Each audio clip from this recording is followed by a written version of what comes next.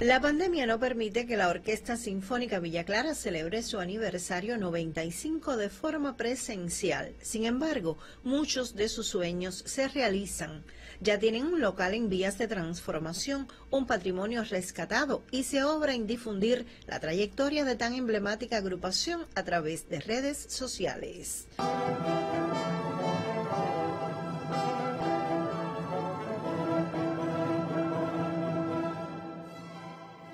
Diversos productos audiovisuales se encargan hoy de celebrar la historia de la Sinfónica Villa Clara. Spot, breves cápsulas promocionales, la filmación de un documental y la inserción en medios de comunicación. Y en la preparación de sus músicos, en este sentido, lo que ha favorecido de manera muy positiva en el desarrollo de la sección de los vientos madera y de los vientos metal como tal dentro de la orquesta como un todo.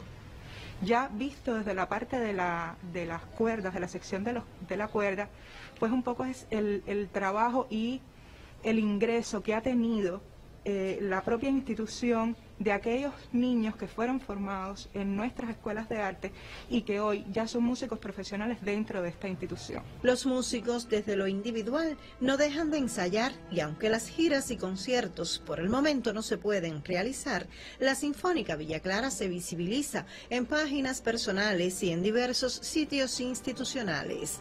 La idea está en connotar 95 años de labor musical. En este tiempo de silencio, por decirlo de alguna manera, de silencio musical entre comillas, ¿no?